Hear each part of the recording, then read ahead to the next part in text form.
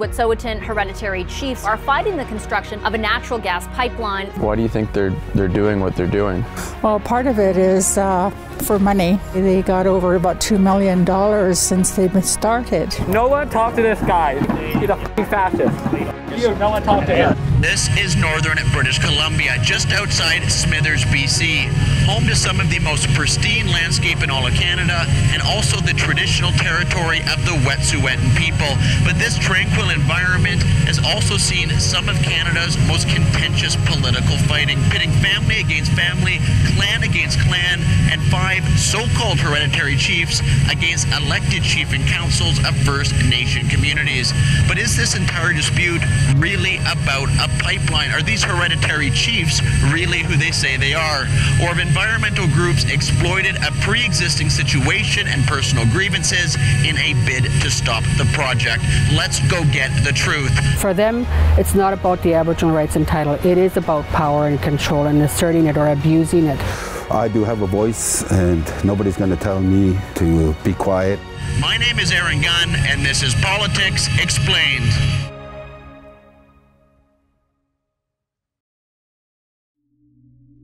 Protesters who joined Indigenous leaders opposed to a natural gas pipeline in BC have been causing major disruptions. Via Rail has now cancelled all commuter train service across Canada because of the ongoing blockades. In February 2020, protests opposing the construction of the Coastal GasLink pipeline erupted across the country as protesters, angered by RCMP actions in what is traditional Wet'suwet'en territory, erected illegal blockades on rail lines, highways, and other critical infrastructure, all with the purpose to, in their words, shut down Canada. Throughout the unrest, a common refrain heard from protesters was their commitment to, quote, stand in solidarity with the Wet'suwet'en people. And, more than two years later, not much has changed. With protests less frequent perhaps, but also occasionally much more violent as well. One such peaceful demonstration was recently held in Vancouver, specifically targeting RBC Bank for financing the project. My film crew and I drove past the gathering protesters to plan out a way to best capture the footage and find out what they had to say. Okay, so we just passed the protesters. They're just a couple blocks away. They're kind of in the middle of a field. It'll be a little too obvious, I think, for myself to approach. So we're gonna send Colin in a little undercover, a little incognito. Good luck, Colin. Thanks. See what you can uh, see what you can get. Okay, I'm gonna go now. Everybody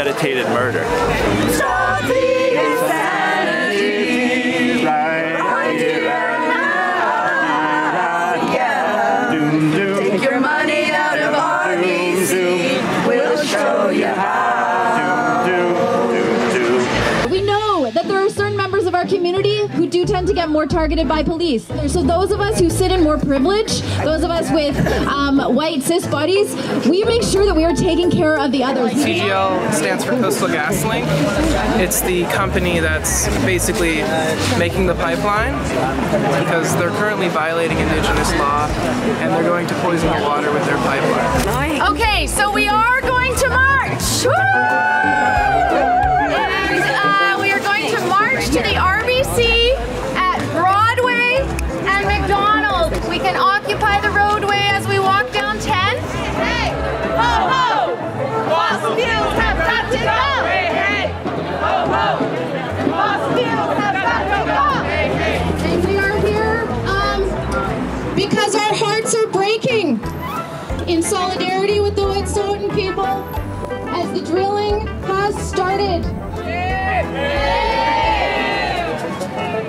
So we are here today to protect the sovereignty of the Wet'suwet'en people. RBC is killing me. Remember, there's no place.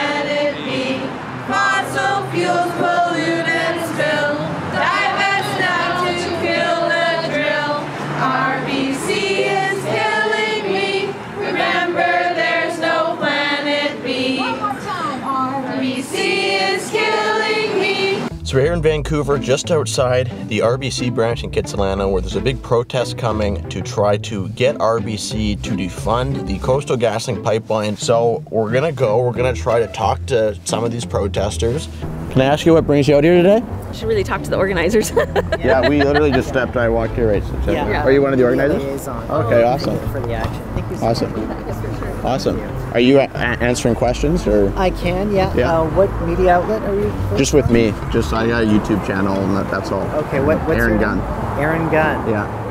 Oh, So, yeah, I'd be happy to answer, sure. Uh, so first thing, well, first of all, congratulations on a very impressive turnout. And uh, what's the main driving force here? So, this action is being organized by the Decolonial Solidarity Campaign, or a national uh, project, largely run and operated by settlers. Uh, we take all of our leadership from the uh, hereditary chiefs, the Wet'suwet'en Nation. You mentioned working with uh, the Wet'suwet'en, but you have all the different houses, and then you have the elected bands, and then you have the hereditary leaders that you referenced. Uh, the elected band councils are those who have signed in their support for CGL and TMX and other fossil fuel projects. Um, those systems are put in place by the colonial powers that be. Um, they're designed to be mouthpieces of the federal government, and this is just one small action to register our dissent and our refusal to be complicit in uh, the settler colonial project. While various environmental and activist groups claim to stand with the Wet'suwet'en people in opposition to the pipeline, they all ignore one very inconvenient fact. All 20 elected First Nation bands along the pipeline route support the project and have signed agreements with Coastal GasLink, including the five Wet'suwet'en bands located in what is considered traditional Wet'suwet'en territory. And uh, one final question for you uh, regarding the hereditary chiefs. I think it feel like it seems odd to most Canadians to have kind of a decision-making process based on um, uh, non-elected leadership. How would you explain that to most Canadians? It's not our place as white settlers to question that kind of system that has had such a long history of success. But regardless, it's our responsibility as settlers on stolen land to listen to that governance and follow it. Yeah, we'll just we'll just walk through for, for just B-roll, just B-roll stuff. Are you guys news? Uh, yeah, I have a YouTube channel. Yeah. Did you want to add What's your something? YouTube channel? Uh, Aaron Gunn. Oh, you, you fascist. I thought you talked about when you to the downtown east side. You Yeah. brought cops to the downtown east side with you, and how you talk to cops, how you you used the you pushed the narrative of criminalization of homeless people. Well, I, I interviewed homeless people. Yo, f- so f- you. Well, everyone's entitled to their opinion, eh? No one talked to this guy. He's a f***ing fascist. Go like this. You, no one talked to him. Thank you for your the escort through uh, through the crowd. Just f- off. After that exciting encounter, we still found ourselves with more questions than we had answers. Do protesters really represent the wishes of the Wet'suwet'en people? What is the role of the elected councils? And who, maybe most importantly, are these hereditary chiefs? What was clear was the next stop on our journey had to be northern BC and the traditional territory of the Wet'suwet'en people, where we first sat down with Wet'suwet'en matriarch Bonnie George for a traditional home-cooked meal of moose stew, followed by a rundown of the Wet'suwet'en hereditary system. Am I am I right to say there's 13 house chiefs of the Wet'suwet'en? Mm-hmm. And are those considered like when people say the hereditary chiefs? Are they talking about the 13 mm -hmm. clan They should be. Okay. Yeah. Uh, we have two governance systems in place. One is the band council system, the other is hereditary system. Each hereditary house group, there are 13 houses within Wet'suwet'en, has autonomy and a say as to what happens within their territory, called Anuknu'ten. But we don't have a central governance system, a model, where the nation decides on who's going to be speaking for us as a nation. Due to this lack of a unified governance model, internal differences that might otherwise have been settled democratically have been allowed to fester for years. The traditional Wet'suwet'en territory is located in north central BC and encompasses the settlements of Burns Lake, Houston, Smithers, as well as other smaller communities. Within this territory are five Indigenous Wet'suwet'en bands who oversee the delivery of services to First Nations who live on their respective reserves. These bands are governed by chief and councils that are democratically elected by the First Nations who live there, not unlike a municipality.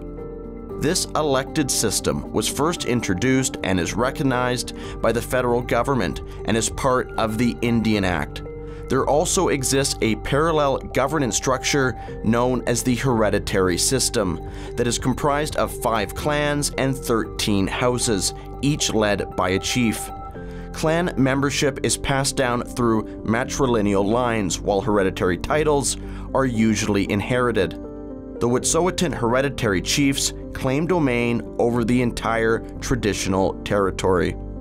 The divide between the elected and hereditary leadership can largely trace its origins to the beginning of the pipeline debate, which some may be surprised to know actually began before the Coastal GasLink pipeline when a handful of hereditary chiefs supported the Unist'ot'en camp or blockade meant to impede the construction of the Northern Gateway oil pipeline back in 2010. But after that pipeline was killed by the Trudeau government, protesters fixed their sights on a new target, Coastal GasLink, a natural gas pipeline that was set to be built along a similar route. These protesters, led by activist Molly Wickham, were once again supported by a group of hereditary chiefs through an incorporated entity known as the Office of the Wet'suwet'en, or OW. The Office of the Wet'suwet'en came about after the Delgamuukw court case. It was put together for the six elected councils and the five hereditary chiefs to be able to sit down and govern the Wet'suwet'en people. Well, those six uh, elected council chairs have never been filled. We don't get invited. So I think that um, that office was put together for the Wet'suwet'en people, um, but it, it hasn't served our community. In the years that followed, all five elected Wet'suwet'en bands along the pipeline route signed benefit sharing agreements with Coastal GasLink to support the project including the Wet'suwet'en First Nation band led by then elected chief Karen Ogen Toews. It's hard when you live within a community and you can't even drink the water. Uh, poor housing, uh, overcrowding, lack of housing. Our education levels are low. You know, we have maybe a handful of our members that have post-secondary degrees. So all of those things are looked to the leadership to, to resolve for the community. And does that benefit sharing agreement with Coastal GasLink help those communities and the council achieve some of those things? Yes, it does. Unlike the elected bands, however, the Office of the Wet'suwet'en did not receive benefit sharing agreements with Coastal GasLink, who preferred to deal directly with the elected chief and councils. But this isn't to say the OW doesn't receive any funding. It does, including in the form of grants from massive environmental groups such as Tides Canada. However, ENGOs aren't the only place the OW gets their money. In fact, in 2020, as illegal blockades ravaged the country in the name of these hereditary chiefs, the federal and provincial governments negotiated what was effectively a ransom payment worth millions of dollars directly with the OW. This was called the Memorandum of Understanding, or MOU, and was signed without the consent of the elected chief and councils. From what we understand is that they've, they've been applying for money on behalf of our communities, but we don't get little to no services at all. The province, once the MOU was signed, they had given $7.2 million to the Office of the Wet'suwet'en. And part of that was to reunify the Wet'suwet'en people, which has not happened. Mm-hmm. There's been no invitations to meetings, there's been no invitations to any feasts at all. Uh, uh, there's still, uh, the communities are still fractured yet. Uh, they've been there 30 years, and I don't think they've created one job for one person in this community. And that's the sad thing about it, because I don't know how much money they've got, but it's in the multi-millions. They take the money, but they don't give it back to the community. They think they speak for the, the whole community and all the other um, clans, but they don't.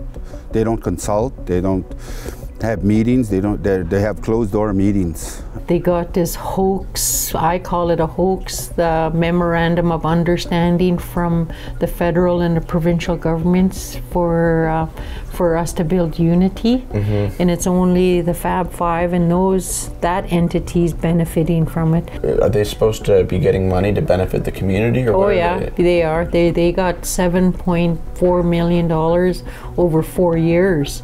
That they're supposed to be uniting the Wet'suwet'en and strengthening the Wet'suwet'en system, which they, are not. They doing that? No. no, they're they're traveling all over to Toronto and wherever else. I heard they went to Switzerland.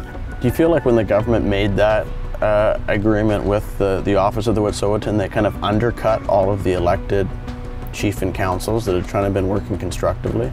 Yeah, that was pretty ironic. Uh, the very system that has been imposed upon us was the very system that both the provincial and, and uh, federal governments ignored. yeah. It's just idiotic. I, I, I, don't have any other word for it. Like, you know, the federal government imposed the system on us, and then they go and sign an MOU and completely ignore the elected councils.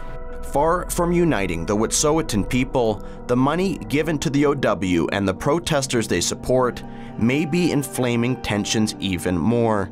As professional activists like Molly Wickham, who is currently facing criminal charges, have continued their campaign of blockades and intimidation, while using their large reach across social media to entice increasingly radicalized individuals from across North America to join their cause. A lot of the protesters that you see that are all over the media and everything, are they all Wet'suwet'en? Are they all from the community? Oh, absolutely not. I think there's probably one or two Wet'suwet'en out there, aside from those monkeys that you see prancing around with their um, costumes now, I call them. They're Americans from back east, and there's a few Mohawks. You can tell by their accent because you hear those videos. These uh, outsiders, these um, foreign uh, organizations that have been funding uh, this group, they perpetuate the divide within the Wet'suwet'en people and communities, and they need to just back off and let the Wet'suwet'en people find a path forward. Because from my perspective, as long as the Wet'suwet'en communities are divided, we can't move forward. This is a Wet'suwet'en issue that needs to be resolved by Wet'suwet'en people, not by outsiders.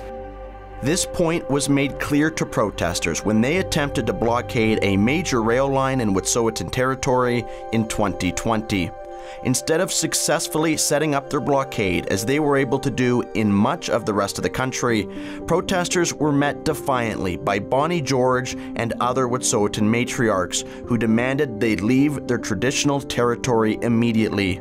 I met with Bonnie and Philistine Olson at the exact spot where this tense encounter took place to find out exactly what happened. Towards the end of the day, when, when I got a call from my auntie and uh, we checked things out. There was nobody around, but we checked things around, and you can see that they had trucks, um, vehicle trucks going up to the train tracks.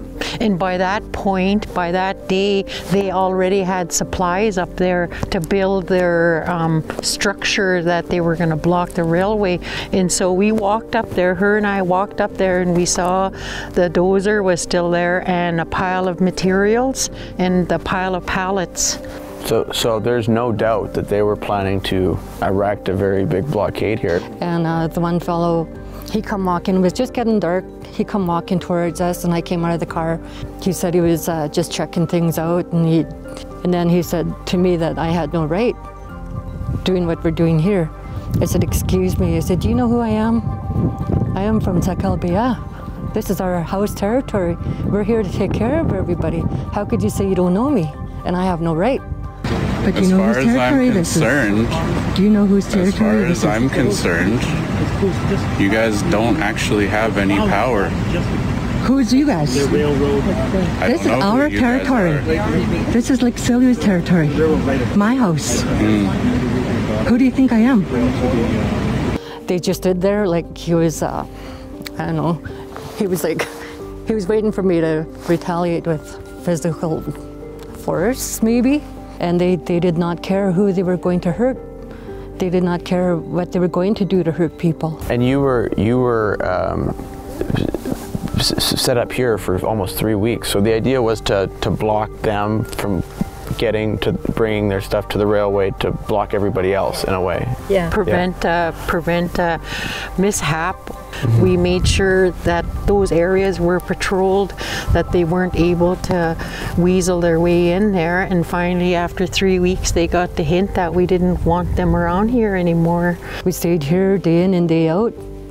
People came um, from other communities, other families.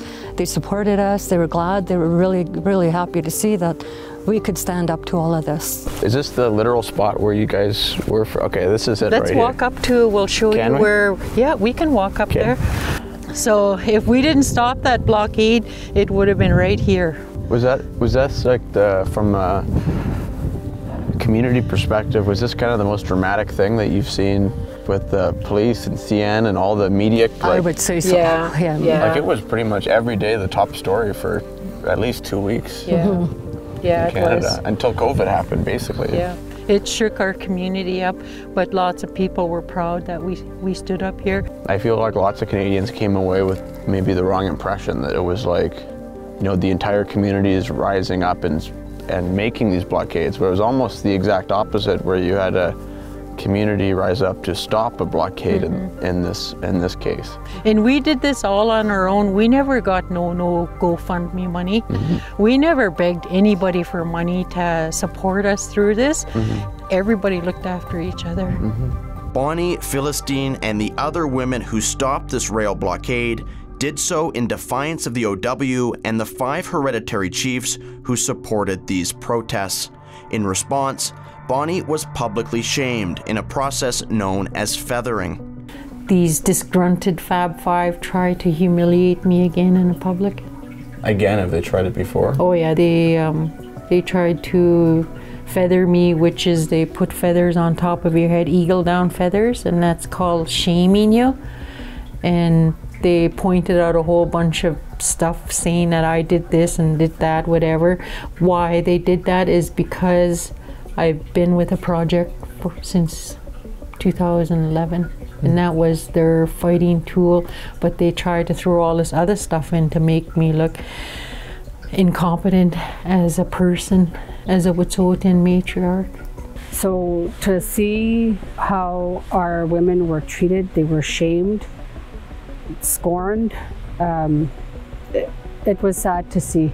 But these five hereditary chiefs, led by John Ridsdale, didn't stop at publicly shaming matriarchs who happened to support the Coastal GasLink pipeline. They also took the unprecedented step of unilaterally stripping the hereditary names of the other female house chiefs that opposed them, taking those names and giving them instead to their friends or, in some cases, even themselves. For example, the hereditary chief title of Smogelgem of the Sun House was stolen from Gloria George and given to Warner Naziel, the brother of an OW board member, while the hereditary chief title of Woos of the Grizzly House was taken from Darlene Glaim and given to Frank Alec, an outspoken critic of the Coastal GasLink pipeline. Could you tell me who, how you managed to steal a matriarchal name, Chief Woos? How'd you steal that name? It was a year ago today. How'd you steal it? Teresa Tait-Day, another female matriarch, also had her hereditary title, Waha Light, stolen from her, signaling to all hereditary chiefs that if you don't fall in line with the OW, they will strip you of your name and cultural identity. We had a public meeting in Houston um, our territory, Quanbeya territory, and uh, where their hereditary male chiefs came in and said, We're not allowed to speak about this. And um, this goes against our system uh, totally because everybody has a voice, everybody has an opinion. Um, we have male chiefs asserting their right as male chiefs and women that that uh, were um, supporting LNG, they got their names stripped. They didn't do anything wrong, um, but because they um, supported LNG, they got their names stripped. But what those guys did to those ladies who they claimed to strip the names from, they just went ahead and did it. They just went ahead. Um, people whispered about it, saying they're going to do this, but nobody spoke up because they're bullies. And uh, it's unheard of. Uh, there's no such thing as people taking your names. When you are born, you are born into a house. Nobody can come into your house and take something from you. That's against the law. It's against the Canadian law. It's against our law. Nobody does that. It's unheard of. It's uncalled for. It has never been done before. And this was an assault on our women. It's like kicking your grandmother when your grandmother is down. That's how it felt to me because I held my grandmother's names.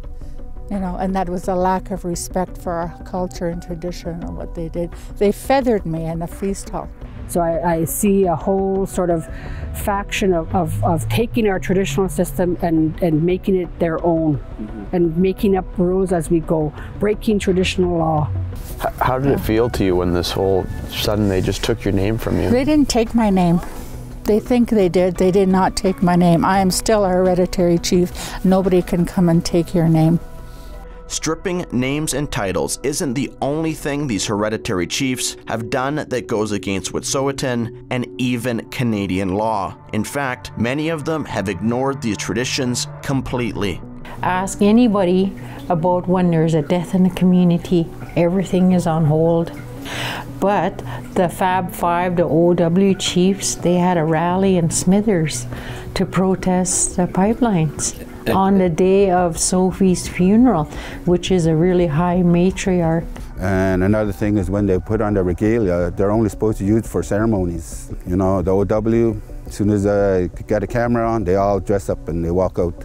They know it's wrong, and we know it's wrong, and we know uh, who they are and, uh, and that they're really not chiefs. On top of breaking cultural traditions, John Ridsdale, the most outspoken hereditary chief in the fight against the pipeline, committed the shocking and disturbing crime of shooting and killing his neighbor's dog while intoxicated, resulting in a criminal charge. For example, the, the chief that uh, shot a dog while um, under the influence of alcohol, to me, that's not good behavior. That's not how you conduct yourself as a head chief of any clan. To me, that looks that that is a prime example of somebody that should be getting stripped of, of their name. The turmoil brought to the community by the fight over the pipeline has led to an unprecedented amount of infighting among not only Wet'suwet'en leadership, but many of the Wet'suwet'en people themselves. To address these issues head on and to start the process of healing, Bonnie and other matriarchs called a potluck just south of Houston, in which we were invited to attend. So we're on our way to see Bonnie George and her family. We have no idea what to expect, but hopefully we can talk to many uh, Wet'suwet'en members and find out more about their history, their culture. So we're excited for it, but we have no idea what to expect, and uh, we'll see what happens. Name's Aaron Gunn. Uh, here visiting from Victoria and very uh, honored to be here and excited to be here.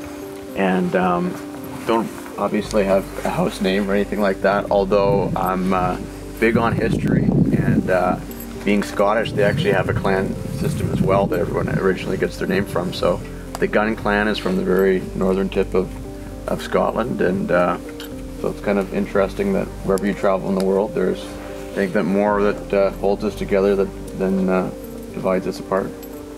I respect the chiefs that respect us. You see all the hereditary chiefs out there? That they don't respect us. They're all out there making money and stuff. I'm just getting so tired of it. Even as a young child, we were always told, even if we didn't have a name, our words meant something. That's what uh, our leader is supposed to do, talk with all of us like what we're doing around here. Whether you've got a name or not, your voice matters. And that's what's not happening today. We need to teach our younger one to not the way we are today. Fighting, fighting, there, there, there. You know, it's not the way our kids gonna grow up and learn. We're the one that have to teach them now.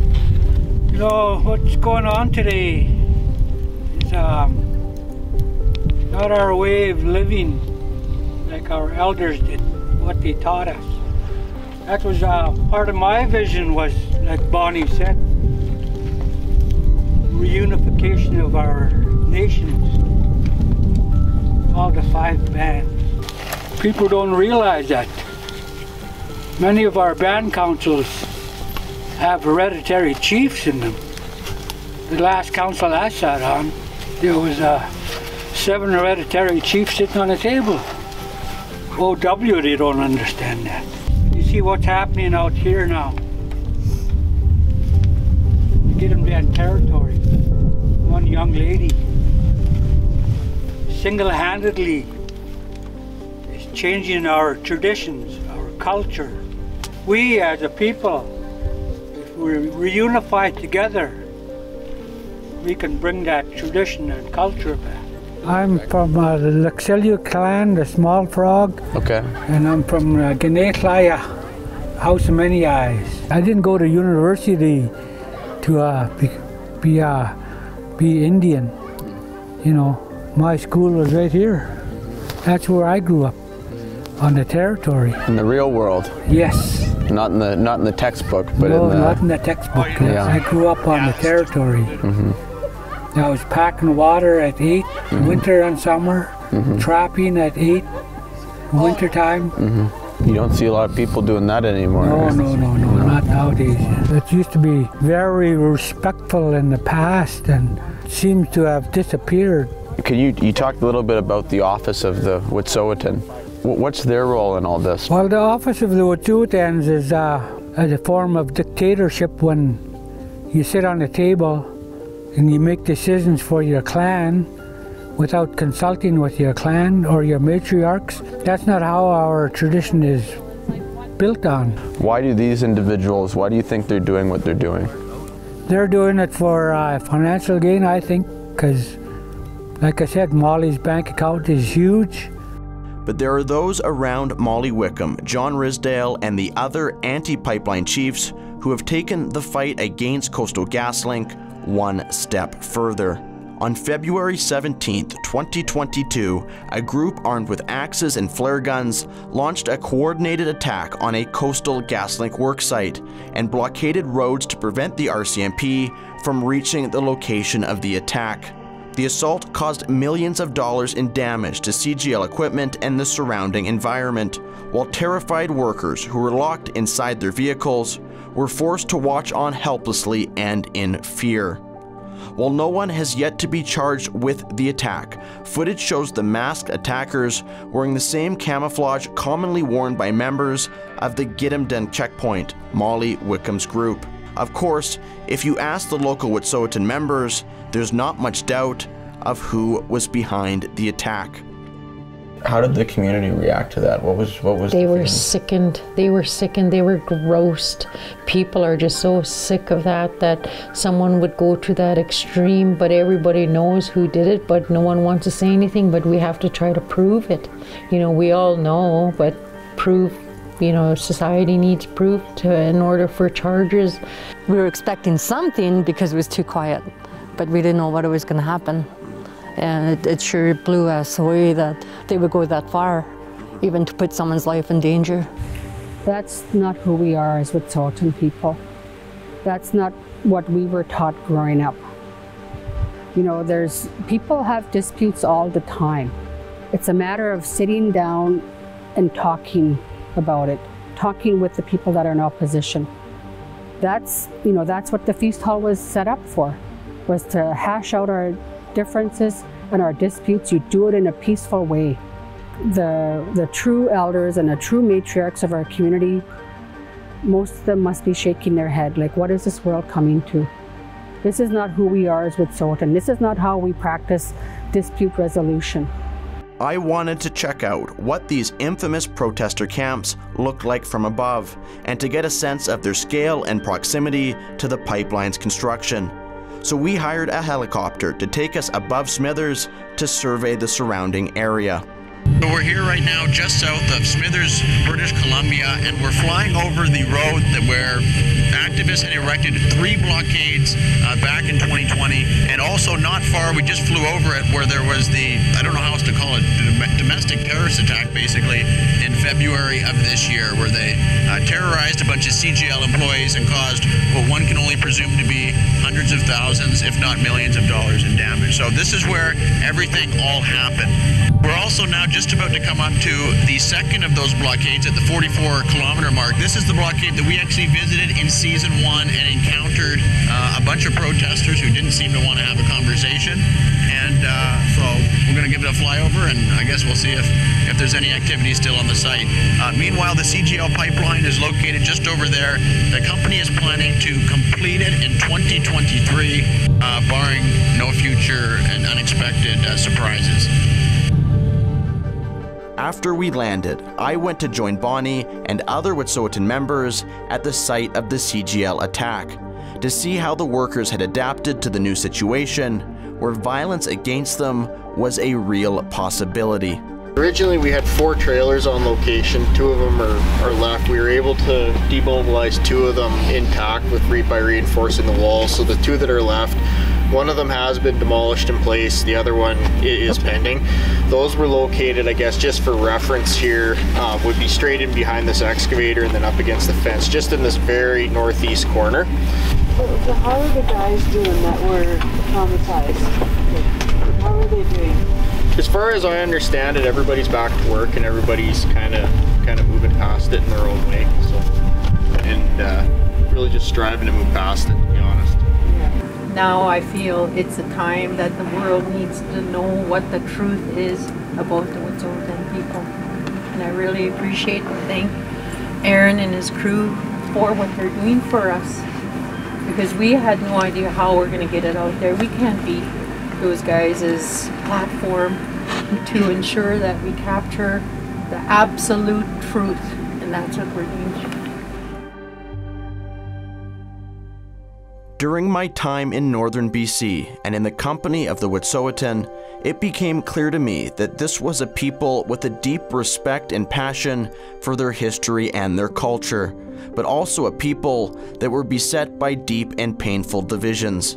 Divisions that have been inflamed by outside environmental groups, and while made out by many to be about a pipeline, in reality is much more about power, control, and who gets the final say but for protesters or politicians who claim to speak on behalf of the Wet'suwet'en, a note of caution. This is not an issue of emissions, building permits, or adequate consultations, but an issue surrounding conflicting governance structures and traditions of the Wet'suwet'en people themselves.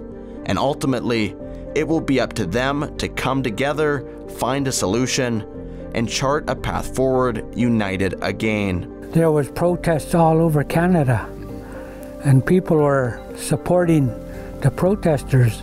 They're not Wet'suwet'en. They have no say on our territory. Only the Wet'suwet'en can fix the Wet'suwet'en system. As people, as Wet'suwet'ens, let's just sit down and have a discussion. You know, we need to work this out because it's our people that are going to suffer. This is wrong.